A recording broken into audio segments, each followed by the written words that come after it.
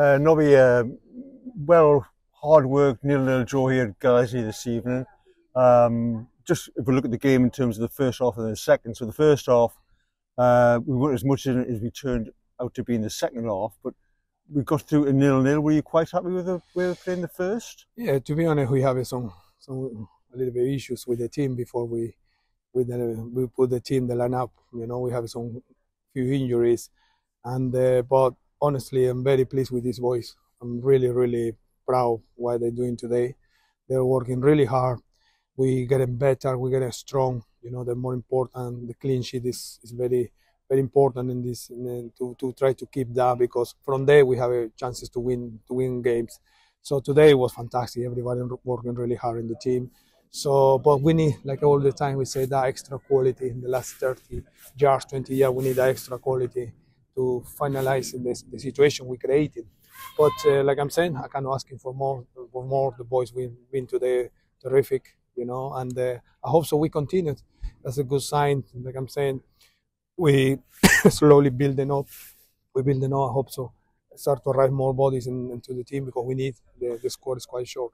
I think certainly in the second half we did take the game very much to Guiseley, didn't we? Um, I mean, pressured us on occasions, which you'd expect them to do, but I think that final third you referred to in the last few interviews in, in just now is absolutely right. But I think, do you agree, we just moved on a notch to improve that, but we need to go a couple more notches to get to where we need to of be? Of course, of course. We, like I'm saying, we, we improve it's very good to the team start to get solid. We today the line, the back four was fantastic. We have a very good line many occasions, many times put the uh, people in offside. That's we tell how good now we get it. But like I'm saying, it's, it's in general all whole team today defensively working really hard. The young boys, some people go cram into into the end, but it's normal after playing so many games in the in the week, you know. But uh, like I'm saying, we're looking forward, looking forward to another game, another difficult game away in this, this weekend. But uh, we're pleased with this point today, and uh, well, we're looking we're looking for the three points. We're desperate for that. Soon we, I believe, soon we start to win the the, the game we needed. Probably the team will improve and get better. Yeah, you must have been very pleased with the determination spirit. Uh, you mentioned the, the back four, back yes. five, but throughout the team, as you see the young players up front as well, were really getting stuck in when they needed to and look look confident tonight. Yeah, that's what I was talking about. This level in this league is very physical. We need to cope with that.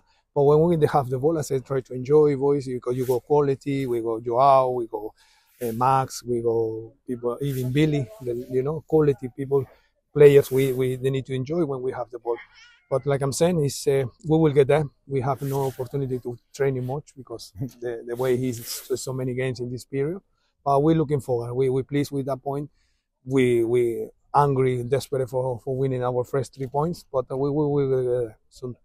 So we've got two games on the bank holiday weekend. Um, clearly, be hoping for another improvement over those two games. Yes, of course. We're looking forward. We're looking forward. And I know Saturday is another difficult match. Always away, difficult. But I hope so. Looking forward for that three points.